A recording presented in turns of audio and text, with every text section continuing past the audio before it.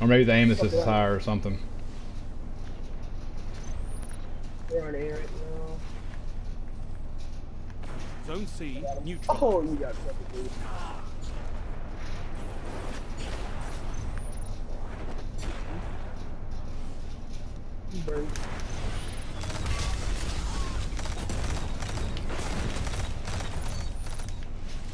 Well, that was Outbreak Prime versus Hammer Titan, and Outbreak.